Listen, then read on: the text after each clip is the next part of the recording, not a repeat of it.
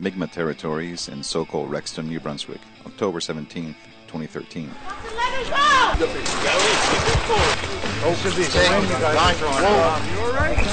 Oh, no, you're not all right, you assholes.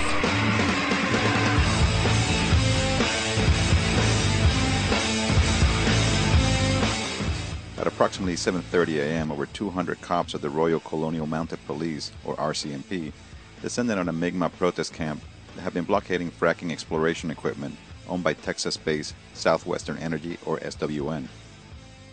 The Mi'kmaq are the original inhabitants of this land and have been engaged in a struggle against SWN and their intent to frack their territories for natural gas since earlier this summer.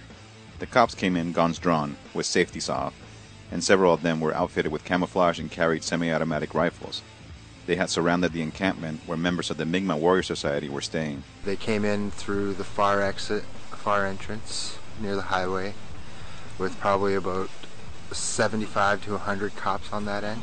There were shots fired at one point. Uh, I believe one of the people, one of the people in camo, was firing in the air.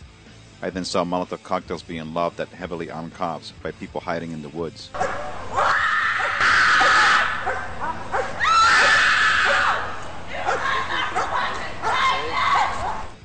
I was then kicked out of the conflict zone by a senior officer and threatened with arrest. If you do happen to come back, sir, I'm just saying, I'm not saying you are, but if you do, you will be placed under arrest. I refused to go behind the police line and kept a position where I could witness the events and avoid arrest for as long as possible. Attention! Attention! You are prohibited from hindering, interfering, or obstructing access to the staging area and storage facility, or obstructing or impeding traffic.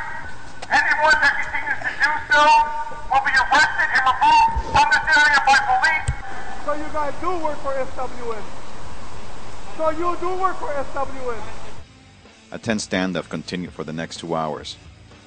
Because I'm going to tell my kids in the grave that I stood up for their water. I stood up for your guys' kids' water too. All of your guys' kids. I could hear supporters gathering from behind a police line in the town of Rexton.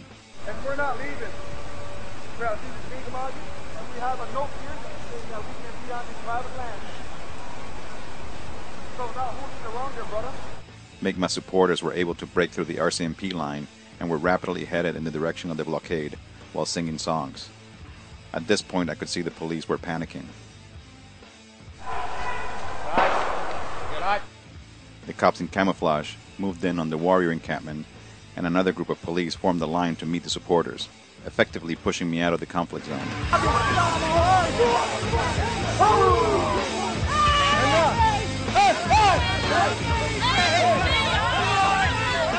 Scuffles between police and supporters of the Warriors followed, and a fierce standoff between Mi'kmaq youth and the RCMP continued throughout the day.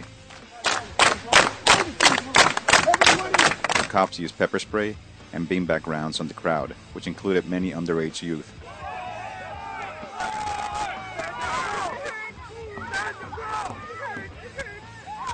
Anger at the police was at a boiling point, and in fear, the cops abandoned their cars and moved to the safety of the police line.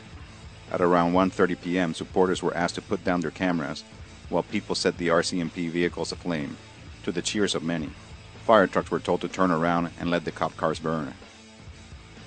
The cops continued to amass behind the police line. Cops in full riot gear, armored personnel carriers, and dozens of snipers filled the blockade site. But the fearlessness of the Mi'kmaq people was unquestionable, and they would not leave until the RCMP invaders were gone. Around this time, reports started coming in that all SWN equipment had been removed. Finally, around dusk, after arresting over 40 people, the cops retreated and left the zone.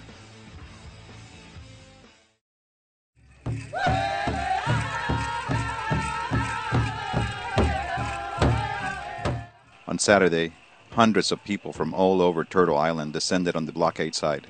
The corporate media were told by locals that they were not welcome and were ordered to leave the area. I stood up. I stood up and told them to get the fuck out of here.